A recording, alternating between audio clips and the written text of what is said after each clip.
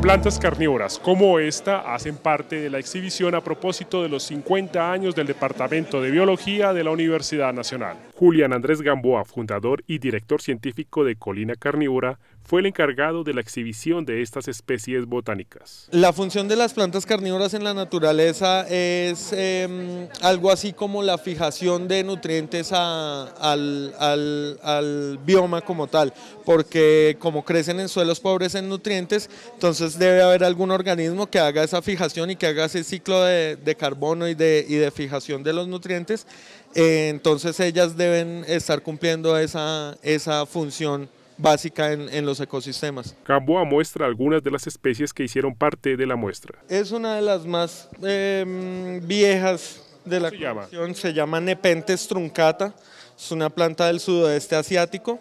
Em, su nombre común es em, jarra de mono, ya que los eh, primates en la selva beben las enzimas digestivas que hay en, su interior.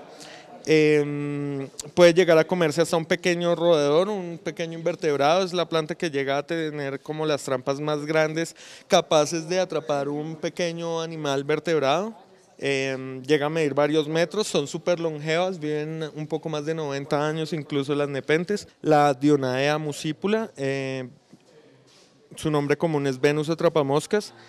Em, es la más conocida debido a que sus hojas pues, se transformaron eh, o se asimilan a una boca, que además es funcional, ella tiene movimiento voluntario. Eh, es activado por unos sensores y ella siente cuando la presa está en el interior de su trampa y se cierra súbitamente para poder atraparlo. Esta planta es única y exclusiva del norte de la Florida y del sur de las Carolinas en Estados Unidos, única y exclusivamente de esos pantanos. Las plantas carnívoras utilizan este método para atrapar nutrientes debido a que crecen en suelos muy pobres. Con la cámara de Iván López informó para la Agencia de Noticias de la Universidad Nacional, German Science.